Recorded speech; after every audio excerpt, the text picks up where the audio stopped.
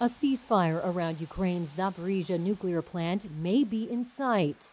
The UN watchdog International Atomic Energy Agency said Monday that both Ukraine and Russia are interested in a proposed protection zone around the Russian held nuclear plant.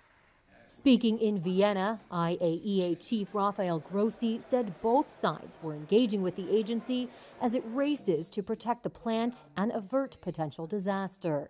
This situation is untenable. Uh, we are playing with fire uh, we cannot continue in a situation when we are one step away from a nuclear accident.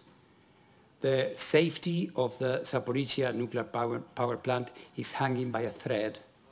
Russia and Ukraine have blamed each other for shelling at Europe's biggest nuclear power plant, risking nuclear catastrophe by cutting power lines essential to cooling the reactors, even with all six shut down.